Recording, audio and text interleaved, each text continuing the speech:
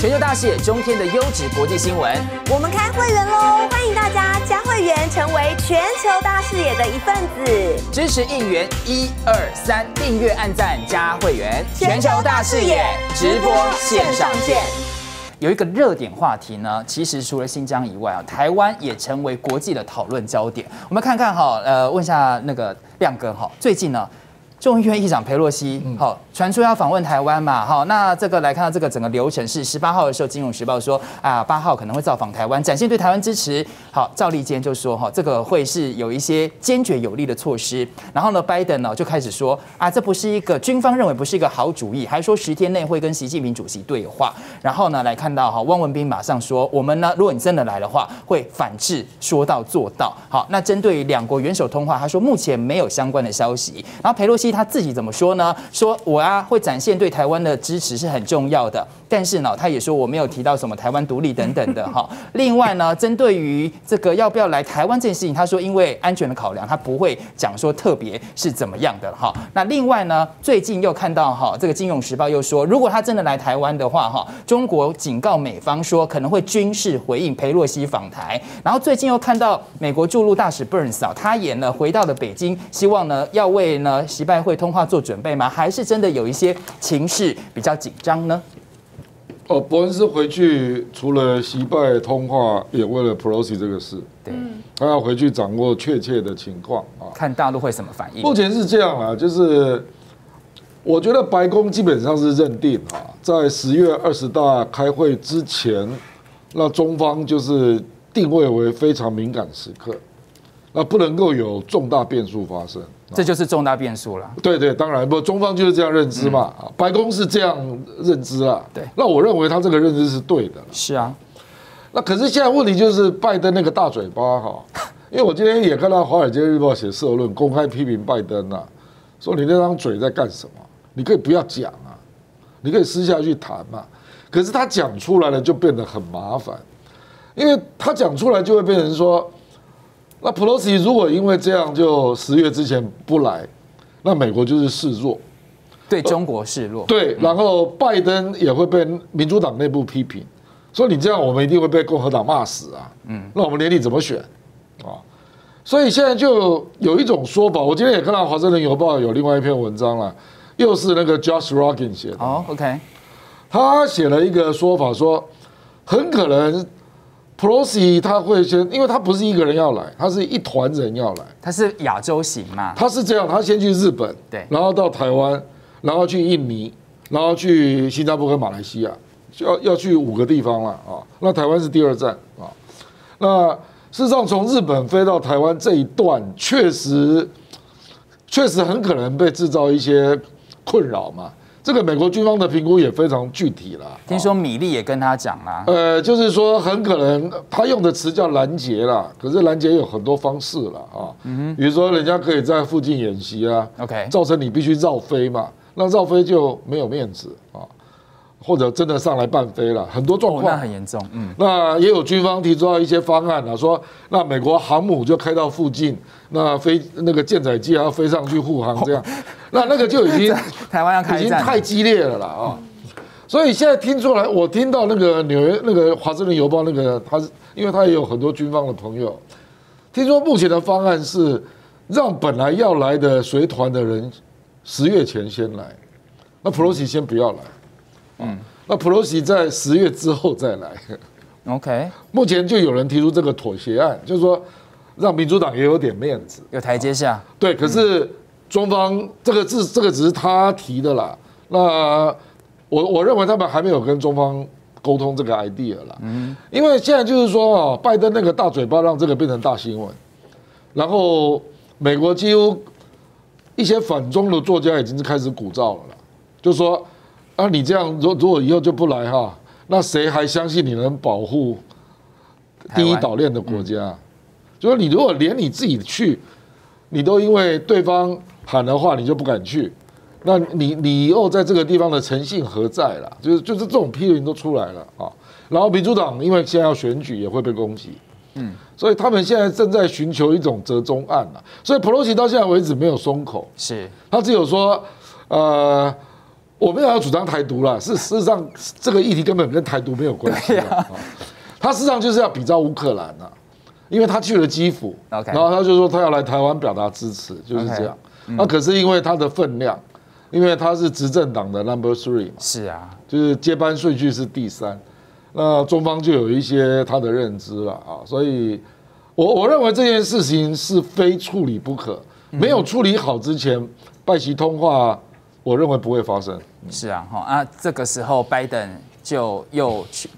他怎样确诊了？对，大使你怎么看哈？因为佩洛西他访问台湾哈，最近说什么有六套剧本呐哈，包括了战机飞入台海的上空啦哈，或者是海峡中线嘛，或者是进行导弹试验呐，后或者飞越台湾上空啊，半飞佩洛西的专机啊，或宣布台湾上空为禁飞区。另外呢，《华盛顿邮报》还说，那官员们哦，这个白宫官员不希望引起呢公众骚动的状况之下，劝退佩洛西。然后呢，还说美国军方哦比国会跟白宫更清楚我们面对的是什么。这个是米利哈，他其实有曾经讲过这段话，说军方其实比国会还知道白宫哈我们要面对的敌人是什么啦哈。大使你怎么看这个？这个如果佩洛西真的来的话，大陆可能真的反应很激烈哦。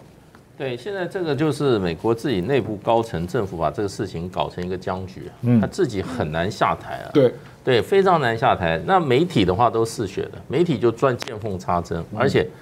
这个这个当时拜登这个这个这个就是 Financial Times 啊，一登出来以后啊，媒体就在做这样做这件事。那拜登那个回答就是哈，把这个新闻里面丢了一把一把柴进去烧得更旺，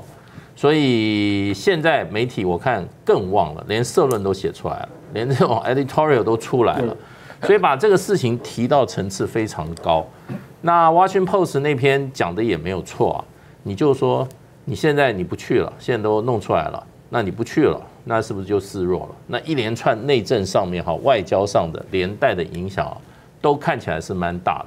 所以去也不是，不去也不是，现在就把它啊，美国的媒体啊很厉害，现在就做到这一节，看你后面你政府怎么样来接招了，怎么样来接招。不过我是认为拜登基本上他本来是不太不太想在这个时候 Pelosi 啊把他的布局破他的布局，因为他要跟习近平对通话啊。对他有一系列的事情。那现在再把跟中国大陆关系炒得那么紧张啊，把它抬高的冲突点把它提到那么高，对拜登的选情有没有帮助？这是很大的一个一一个考量点。看起来拜登，我是觉得他可能就是说，数多边作战的情况之下，他自己回过头一盘点的话，对他非常不利。嗯，非常不利。他这个能够获利的点哈，看起来现在只有这个乌克兰这个战争还没有失分啦。可是其他的战场上他都得不了分，而且跟中国大陆这个部分啊，发觉啊，我觉得啊，明着政治人物声音很大，暗地的所有美国的这些啊企业界，美国在大陆有深厚利益这些财团啊，我想他们可能都有另外的意见。那到选举的时候，这些真正在发挥很大的选举的这个哈，这些幕后影响力的哈，是这些财团，是这些企业界，是这些啊大公司的负责人。那在这个时候，我觉得拜登，尤其对中国大陆这个关系，他会发觉啊，在这个企业界，在美国的这个 private sector 这个整个这这个这个部分啊，他得不到好处，嗯，所以可能就要把这件跟中国大陆关系啊，即使不让它有改善好，能够维持住持平就好。可是这个 Pelosi 去中国大陆，可是丢在在在这个美中关系这样是投入一颗啊原子弹呐、这个可不是这个可不是等闲的哈。那中国大陆可以采取的很多作为的话，事实上的话，我看就是说，前一阵子上一次中国大陆的这个解放军军机啊超越中线的时候，当时我们这个蔡英文蔡英文政府啊做了一个宣布，很有趣，他重他重新解释什么叫什么叫要采取自卫反击。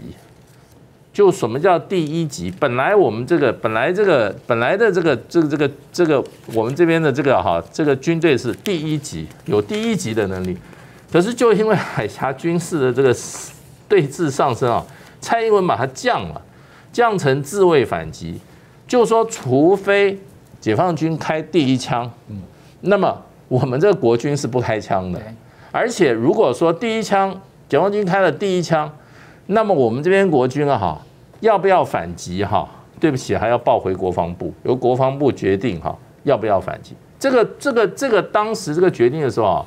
在台北的军方有一些这些老将领非常非常的不以为然了。他说：“你不是拿第一线的军方，你叫他吃子弹，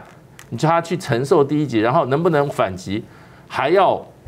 回回来问打电报，打个电话，打个打开手机哈，你有好了，你有 SpaceX，你去问国内说 能不能反击。他说对不起，要让国防部长来决定，可能你第一你第一线已经承受极大的这个伤亡损失了，所以现在这个情况之下就变成啊，事实上是有可能啊。我想当时蔡蔡英文政府的这个宣布啊，大陆也很清楚，所以才会有胡锡进说，我就直接飞机跟你伴飞，然后直接。绕到你台台湾的这个这个哈这个这个机场的上空，是是看起来啊，以蔡英文讲的这个哈自卫反击这个原则来讲的话，事实上不会产生任何的交火，不会产生的任何的交火，所以这个这一场这个裴洛西啊来搅局大战啊，我觉得啊还方兴未艾，还没解决。不过啊，真的会让华府跟这个北京两边的外交人员。我觉得真的是要要要要跑跑断腿了，嗯，然后最后怎么样做出一个比较比较双方都可以接受的一个，我觉得还不是这两三天三两天之内搞得定的了，对，还会发展很长一段时间的。是，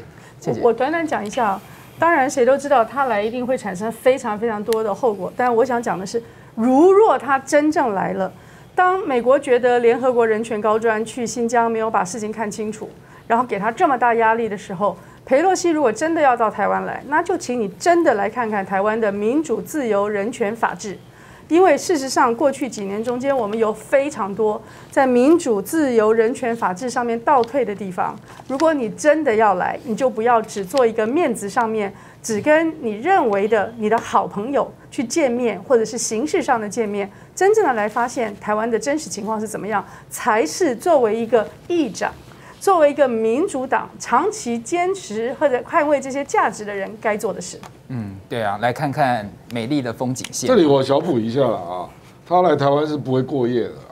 哦，所以顶多拜访两个点就走了了啊。嗯，那我再补一下，就是 Pelosi 为什么坚持一定要提前来？因为今年十一月八号选完之后，他就不是议长了。嗯，而且民主党可能就没过半。所以我讲的就是美国现在每次来的人，他们都一厢情愿的只看民进党政府，他事实上没有看到台湾的真相。这件事情也是需要让世界知道。不过他们就是不会，他们反正是来做秀，我们也知道。他他是来点一把火就走了。对，这个火可大了，而且承受的可能是。台湾哈会受到很大的一个冲击了哈。那最近呢，炒作台湾牌的其实不只是美国，连日本也是啊。好，日本来看到哈这个二零二二年的防卫省的白皮书哈，里面就特别提到说啊什么，你看还有一个章节是讲台湾的哈。你看第七十页开始，然后就开始讲说中国大陆啊在东海啦、南海啊继续力量单方面的改变现状啦哈，然后还摆出呃要动用所有武力也要统一台湾的架势等等哈，让这个局势是升温的。那日本。最近的很多动作也引发大家的反弹，尤其国际的反弹。像是呢，日本七月二十二号的时候，核能监管机构竟然批准了，也就是福岛的第一核电厂当中。一百万吨的处理过的这个核废水啊，能够排到了大海当中。他其实去年四月十三号的时候说，两年后才要来实施，结果没想到现在变成是七月二十二号就通过了这件事情。这件事情引发了全世界很多国家都很紧张。台湾这边看起来好像哦没有那么大的反弹嘛，不过中国大陆这边很很生气。他说对此表达强烈的不满跟坚决反对。中国大陆已经向日本提出了严正交涉。尤其来看到这个福岛的核污水，其实会攸关全球的海洋的问题。所以呢，环太平洋国家的公众的健康绝对不是日本一家他们的私事。所以呢，你看。一方面炒作台湾议题，那美那个日本呢？你对国际上的影响又是这样子，这是祸害大家、伤害海洋的事情。好，日本哦，天天炒作这个台湾议题，但是你对全世界呢是有一些伤害的问题，尤其福岛核废水要排入大海啊，倩姐。嗯，日本最近的作为呢，其实跟他的嗯宗主国美国非常像。我用宗主国是因为。二次世界大战之后，若不是美国一力的主张的话，今天的日本无论它的政治体制跟经济都不会是现在的状况，也不会是 G7 的国家之一啊。那么为什么我说跟美国越来越像呢？因为它也自似乎俨然认为自己是区域的警察，美国是世界警察，日本开始要扮演一个区域警察，所以它现在的白皮书里面包括了把呃外交区域化、把军事扩张化的一些主张跟说明。那么同时呢，也向美国我一样，开始在重大事情上面就用单边主义的方式就自行决定，福岛的废水核废水排除。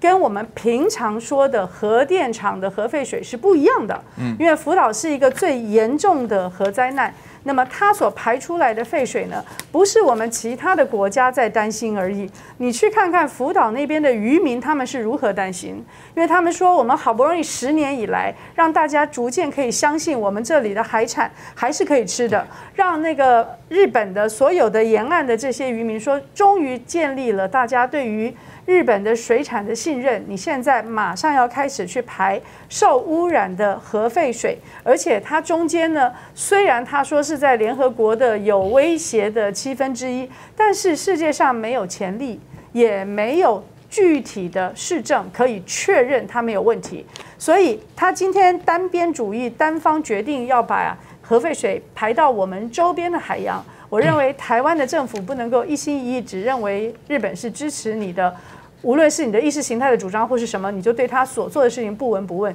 因为毕竟他所排出来的废水也会影响到台湾，这对我们来讲也非常重要。到目前为止，只有中国大陆说他们会开始监测，但是监测是 post hoc 是事后的。事情已经发生了以后，我们应该要去支持在日本反对做这样事情的，包括他的渔民跟他的政治人物，让他们让日本的政客有一丁点的反省之心，给他们更多的力量，让他们能够阻止这个世界型的灾难在我们眼前发生。是啊，最近中国大陆哈跟美国哈在一些博弈过程当中，发现呢，中国大陆的声量哈真的是比较大一点点，是因为底气蛮足的吗？哈，尤其看到最近有个报告引发讨论，是昆西研究所，它有一个研究报告表示说呢，结论就是美军在西太平洋是没有优势的吗？它你看这一张图哈，就是中国大陆在周遭的这些好这些军。基地等等的，那他就提到说哈，那美国啊，在东北亚这个地方就是两个基地，好，包括冲绳啊、加索纳跟普天间这两个基地。那中国大陆在周遭是三十九个基地。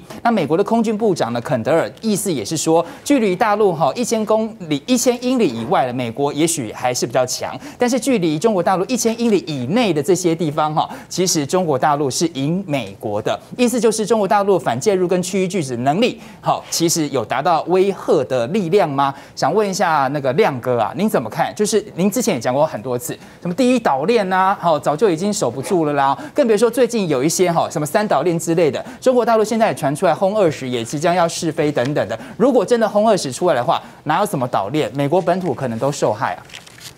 我轰二十就是隐形的轰炸机嘛，所以当然了，当然而且一万公里啊，它可以飞到任何地方，就是战略轰炸机，而且又是隐形飞机啊。这个，所以美国已经撤了嘛？这有什么奇怪的？这这美国自美军自己都承认，而且都已经在修改他的战术战略规则。就我跟倩姐谈过很多次嘛，就是那个 EABO 远征前进基地，对不对？不然他干嘛？航母为什么他开始把它改到关岛或者澳洲呢？哦，就是他基本上他不会去思考，就是说要从日本直接派兵过来嘛。因为这个风险太高了嘛，那关岛事实上距离中国大陆就将近四千公里了，啊，他他就认为连关岛都不一定安全啊，嗯，因为还有关岛快递嘞，对。不对？所以可能就撤到澳洲那条线，那澳洲跟中国大陆的平均距离大概是六千到一万公里啊，看看你在哪一个位置了，那至少就是六千公里，所以他都在改了啦，比如说改成战略轰炸机啦，或者远程的。这个轰炸机啦，不要太靠近啊，远程的飞弹呐啊，或者是用核潜艇嘛啊，所以基本上那已经不是在我们所说在所讲的那个海上作战，作战舰它的三 D 就航母开到附近，然后用飞机作战舰来协助作战，已经不是这种模式了啦啊，它基本上都已经考虑到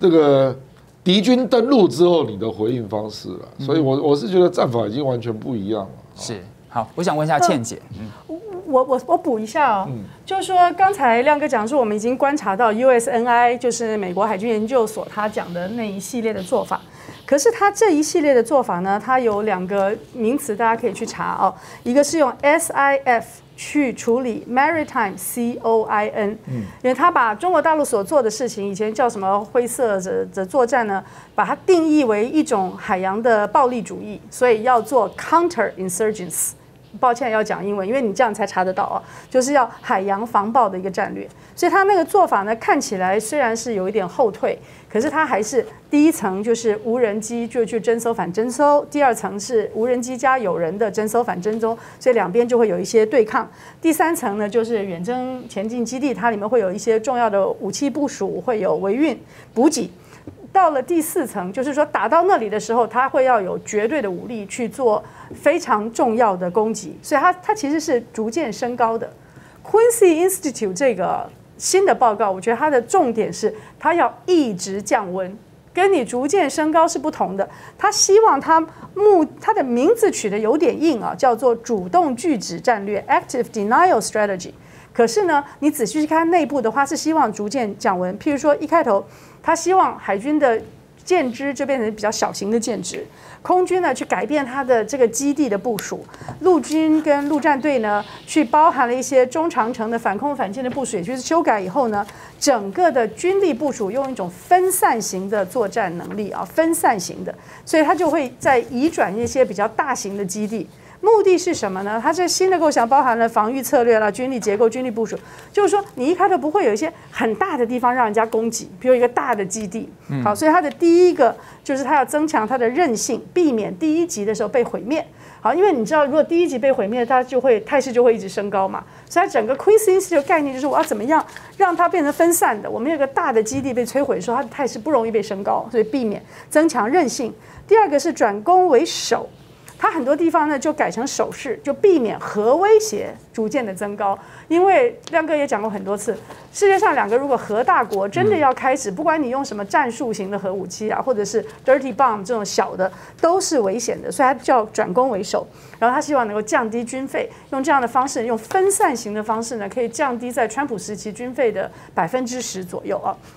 这整个概念中间最重要的是美国要改变方法。美国以前做的都是。一对一的双边关系连起来像一个轮子一样，所以他们叫做轴承啊，跟那个扶枕这个策略叫 hub and spoke。你看那个外交啊，什么都是用这个名词。他希望呢停止这样做，增加那个盟友之间彼此间的关系，而不是一对一对美国的关系，不是由美国直接的呃双边的这种关系来组成。第二个呢，他希望降低核风险，军备竞赛，把灰区的这些核组呢也要降低，就逐渐的就直接进入一个低档的状态，而不是说我们打了一架以后，大家说哎我们小心一点，我们再进入一九七零年代的低档，是直接就进入一个低的冷的一个处理。最后他希望能够增加核稳定，降低那种可能产生巨大冲击的热区，台湾就是其中之一，减少呢美国不要对别人去提供。不合宜或者昂贵的承诺，譬如说我们一定会军事来帮助你们，或者我们绝对会防御你们这种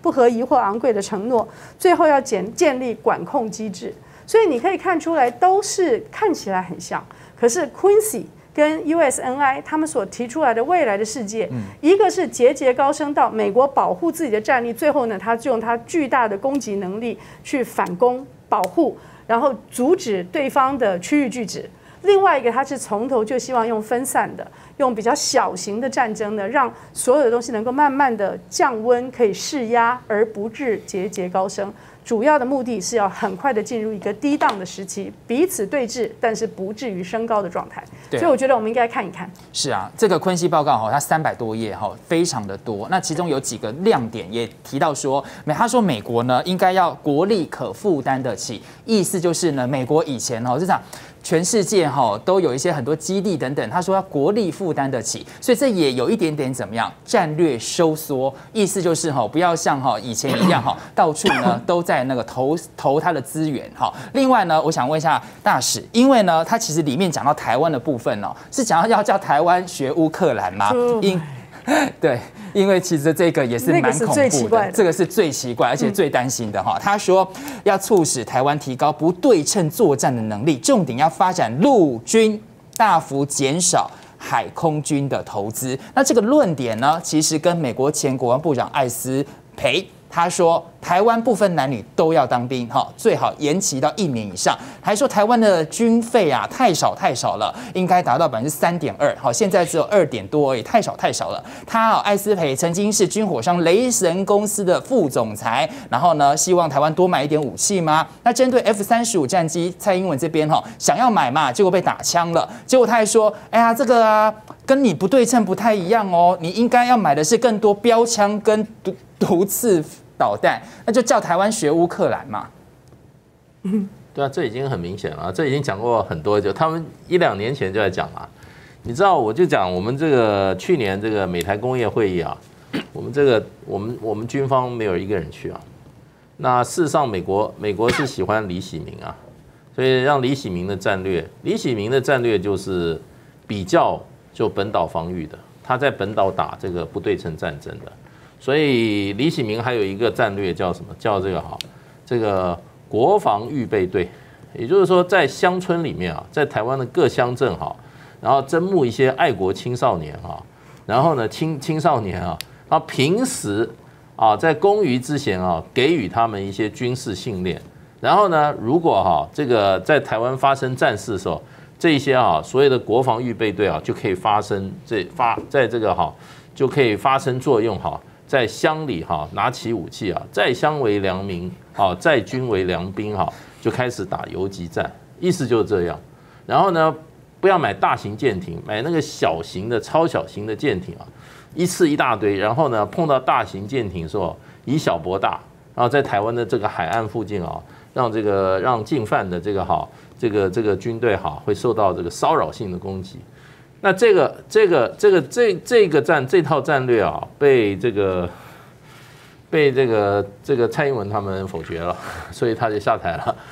那可是美国人现在把他搞到二零四九去做计划研究员，而且这去年的那个美台工业会议啊，我们这边台湾的这个国防部没有一个人派派，全部缺席。那所以现在就变成就是说，对于防卫台湾的观念啊。跟这些哈呃概念，跟这些策略啊，现在看起来啊，美国的想法已经啊越来越坚持了。所以跟台湾不一样的话，那么就要使台湾就范。所以各种说客，各种相关的都出来了。基本上台湾就要在跟如果不幸跟大陆发生战争哈，台湾这个战争的形态啊由美国决定，也就是第二个乌克兰。然后呢？台湾用台湾 这个哈，这个呃一百公里的纵深，因为我们西部平原从就从海岸到到台到到这个到这个中央山脉也就一百公里嘛，那用这么短短的纵深呢，要使哈大量的入队哈入这个这个进入台湾这个这个部队哈陷入战争的泥沼，嗯，然后呢在各个城镇啊发生啊这一条呃呃这个可歌可泣的这种哈肉搏战。然后呢，互相拿着这些啊，这些针刺刺针飞弹，或者说是各种的这种单兵操作的武器哈，在战场上互相厮杀，然后希望能够啊，因为借着现在就是说全民皆兵嘛，现在要后备体系要重新建立嘛，然后男女皆兵嘛，都要变成义务役，受变成这个跟我们当年一样，我们当年服两年兵啊，两年兵役啊，我们当年服兵役的时候。我光受训就受了半年啊，六个月啊，我们三个月就在那个就在那个凤山路那个步兵学校攻那个山头，外面温度摄氏三十八度、四十度，我们穿着全副武装在里面每天攻山头，真的是苦不堪言啊！两年的当兵，我们六个月还在受训呢，还没有下部队了，结果派到金门去，我们那些哈同仁啊，一下部队下部队的时候，那个各个。各个野战师啊，那师长说，呃，这个从台湾那个那个六个月受训根本不能用啊，继续拔接，继续再到那个各个师部的那个那个新兵训练，再给你受受六个月，受三个月的训，还没当兵两年，我们就受训受了九个月，那才叫真正在准备准备这个哈打这些哈打持久战的。现在听说是十六个礼拜，十六个星期就退退役了。前两天我们不是我们那个坦克车在里面压死压死了一个一个一个一个一个一个新兵，他服务他入入伍才一个月，所以进去操作不良就出现这种问题。那个军队的武器都不是开玩笑的啊。那现在美国人的意思的话就非常清楚啊，我觉得根本就是不是说这个哈除穷抵贱，已经就已经翻开给台湾看了。你就是要照乌克兰的打法，好好替我们美国守好台湾这块土地。台湾的土地是我们美国人很重视的，能不能把这场战哈打得符合美国人的需要啊？那是美国啊现在殷殷所盼望的。你同意也好，不同意也好，你将来你要什么武器，不是你决定，是由我美国来决定。哦，我将来就是给你海马四，本来不是给你要给那个自走炮吗？四十门吗？拜登搞到最后现在不不卖了，对，改发六六套海马四多管多管火箭，射程大概不会是那三百公里，我想大概就是八百八十的，就是乌克兰射哪里？乌克兰现在美国给的主力武器，你看我们原来买了，原来是买了十十十一十十套嘛，十一套嘛。那后来本来那个四十辆的这个自走炮，在拜登政府他说不卖了，对啊，改发什么？改发这六套海马式火箭，另外刺针飞弹，然后这标冲飞弹大量供应台湾，主要叫什么？叫你打这些城市的巷战。那就是说，像现在乌克兰一样，难怪雷蒙多说台湾很恐怖啊！如果真的打的话，台积电怎么保？那他才不管呢。他 这个台湾对美国人来讲，这场你要你要发挥美国认为有政治有价值的作用，那才是有价值。有没有价值，是对还是错，不是台湾决定，是美国在决定。是亮哥要补一下，他最近也把那个 AGM 一五八对啊，都不要。取消了嘛，那个可以射三百七十公里。那所以他基本上对源头打击基本上是反对的，啊，这非常明显啊。而且海上作战他也不认为你发展太多有效了，他认为阻止不住，所以你要准备的应该就是登陆作战跟地面作战，哦，那都是都是很惨烈的。嗯，对啊，很惨烈的。我们当然是希望哈不要发生战争，因为如果像照美国这个做法的话，这个战争是会跟乌克兰一样哈，是在台湾这个地方的哈。我们还是希望呢，两岸哦不要开火哈，还是希望能够和平相处。谢谢大家收看喽，拜拜。海皇鲍鱼 XO 干贝 XO 酱，可以说是妈妈料理的百搭神器。把底下拿来再来吃，为什么？因为这底下呢，你可以看到一颗一颗的鲍鱼，是真的可以存在的。现在呢，上快点购来订购，马上就可以拥有五星级的食材、五星口感的总统级高级享受。